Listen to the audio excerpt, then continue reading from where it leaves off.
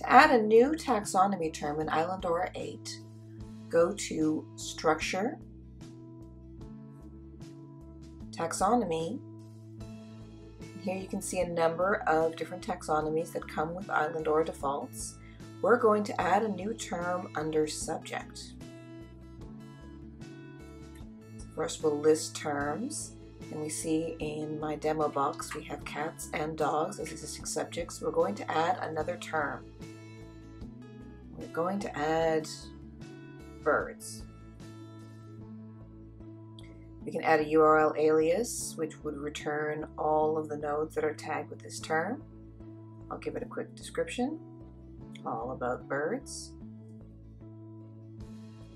And this is the interesting part where we can do a little bit of link data and associate this taxonomy term with a canonical subject heading. We're going to use Library of Congress in this case. I've already looked up the taxonomy term for birds LOC.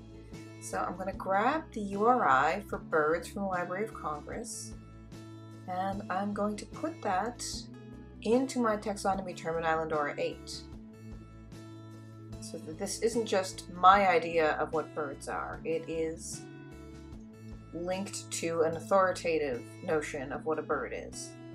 Now we have added to our subject taxonomies birds. So when we go back out to create another Islandora object, in addition to cats and dogs, we can apply a bird tag.